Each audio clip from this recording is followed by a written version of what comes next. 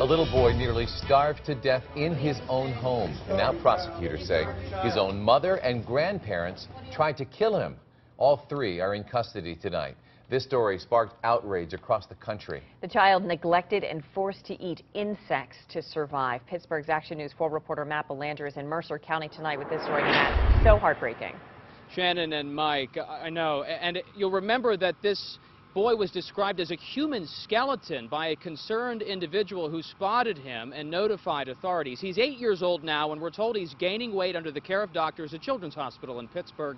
And this afternoon, the people who were supposed to be caring for him arrived here at the Mercer County Courthouse and left in handcuffs.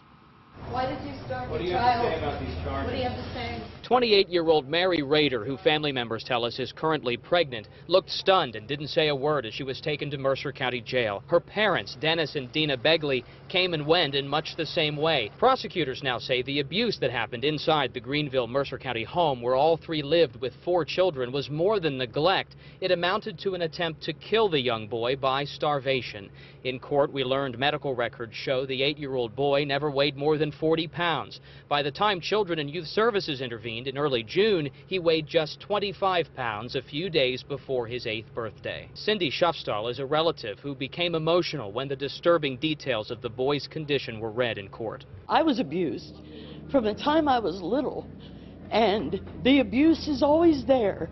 It's never going to go away, and that little boy is going to have to live with this the rest of his life. This afternoon, we learned when Rader or the Beighleys were questioned about the boy's weight, they would blame it on a medical condition. The defense pointed out when investigators questioned the boy, he told them he was being fed and treated well, and nothing inside the home was out of order. But in the end, the judge allowed the more serious attempted murder charges to be applied as he sent the case to trial. And he thought it was okay. He thought they loved him. He thought he was getting three meals a day.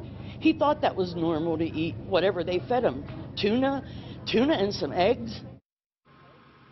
Now, all of the children who lived in that house are in foster care. And in a strange turn of events this afternoon, when the judge announced these defendants were going to be taken into custody, about 50 people from the community who had gathered in the courtroom to watch the proceedings actually burst into applause for a short time until court was called back into order. Live in Mercer County, I'm Matt Belanger, Pittsburgh's Action News 4.